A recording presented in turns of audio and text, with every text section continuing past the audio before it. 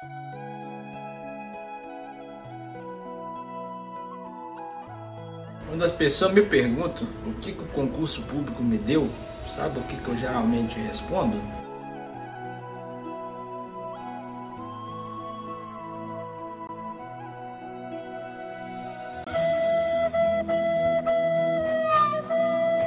Sequelas permanentes.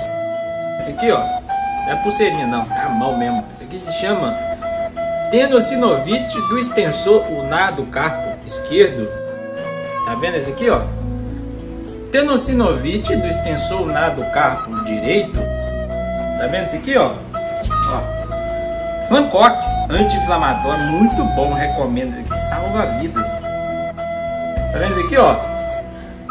É Discinesia escapular.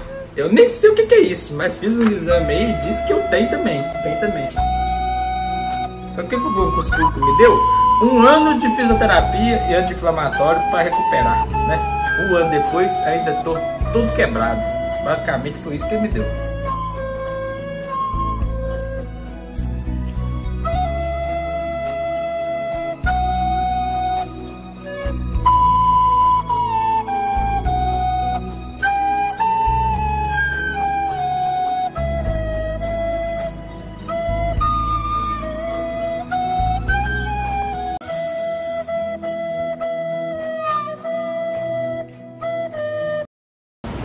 O Luna é nomeado lá no Rio Grande do Sul semana passada, né? Quarta, quarta nomeação de auditor, né? As pessoas pensam que não.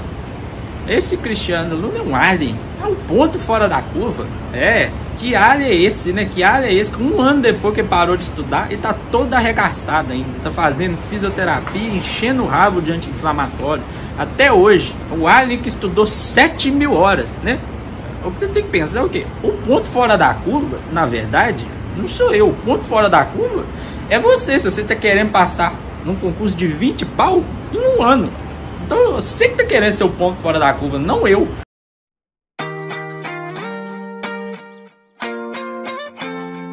Logo depois que eu consegui as minhas aprovações, mais especificamente falando mesmo da Cefaz Bahia, que foi o momento que eu estava. É, eu não tinha nada na mão, né? Eu estava né, com o cookie na mão mesmo, né? Eu senti um alívio muito grande, assim. Não foi nem felicidade, sabe? Foi mais, bem mais alívio do que felicidade. Então eu não aguentava estudar mais, sabe? Eu já tava com asco de abrir aquele, sistema de questão, ficava fazendo questão o dia inteiro, né? Já tava com dor, sentindo dor pra caralho, não tava aguentando mais estudar, né? E foi um alívio muito grande, eu fiquei muito louco no dia lá, né, que saiu o resultado, né, acordei a família inteira, joguei a belinha pra cima, bateu no teto, saiu correndo com medo de mim, foi aquela loucura, né? Mas, passada a euforia inicial, eu fiquei pensando assim, e agora?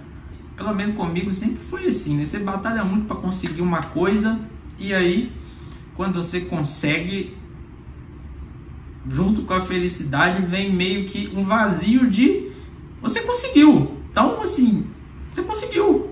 Só que é, aquele esforço que você fazia para conseguir dá um pouco de sentido à sua vida também. Né? E quando você retira esse esforço monstruoso da sua vida, que é estudar e passar no concurso, de certa forma tira um pouco de uma coisa que te preenchia. Apesar de te preencher de uma forma bem bosta, né? Quer ficar fazendo questão o dia inteiro e, e, com incerteza e ansiedade, aquela loucura toda, de certa forma é uma coisa que te preenche, né?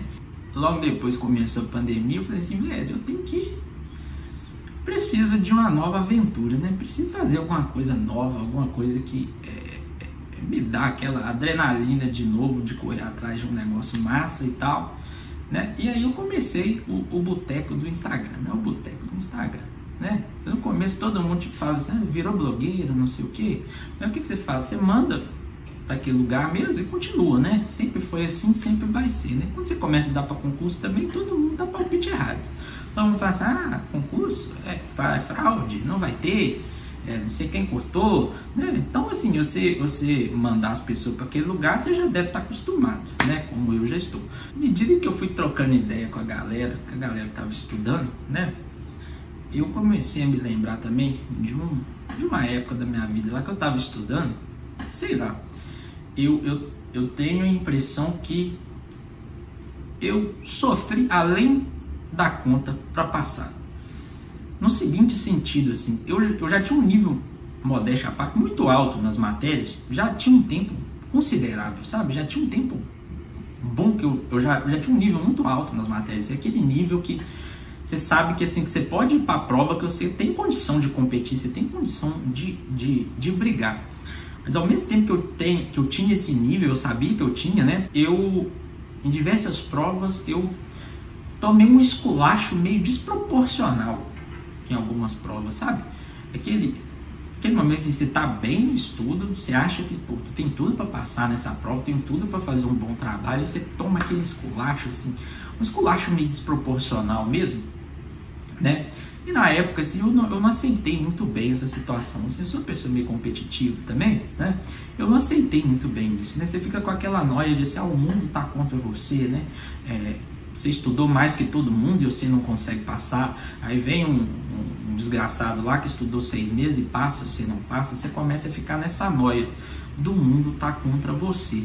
Mas hoje eu acho que eu enxergo que o mundo estava, na verdade, era a favor de mim naquele momento, e que era algo meio que planejado, que naquele momento ali as coisas não dessem certo, porque foi por elas não terem dado certo naquele momento que me possibilitou aprender muita coisa que talvez se eu tivesse até passado eu não aprenderia, né? Então for, foram esses esculachos que eu tomei e que talvez se você for olhar para uma ótica de, de justiça, na minha opinião, eu até merecia uma melhor sorte.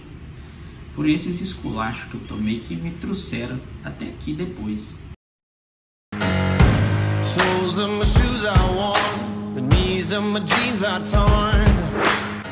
É uma coisa sem preço. Você pegar, igual a gente fez essa semana, colocar aí 200 pessoas ao vivo te assistindo e você passar para elas um conteúdo que você sabe que vai realmente ajudar a pessoa e você vê que a pessoa realmente aprende, ela vai ter resultado melhor. Cara, isso é uma coisa que não tem preço. Isso é uma coisa que não tem preço.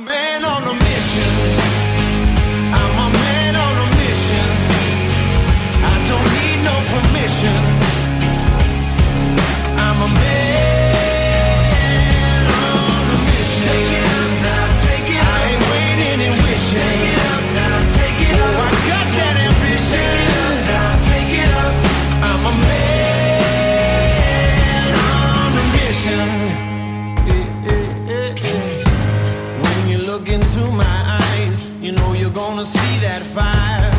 Quem não está fazendo isso vai achar que é hipocrisia, mas a coisa que começa a te viciar, que você não consegue parar de fazer isso, e você quer sempre mais, quer sempre melhorar, e quer sempre fazer mais, ainda mais para aquelas pessoas que confiaram no que você está fazendo, nas coisas que você está passando, no trabalho que você está fazendo.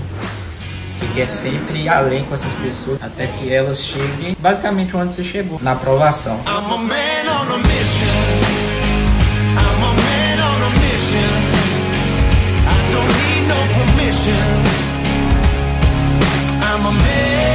Isso é um trem muito doido. Né? O dia que você for picado por isso aí, você vai, vai entender o que eu tô falando.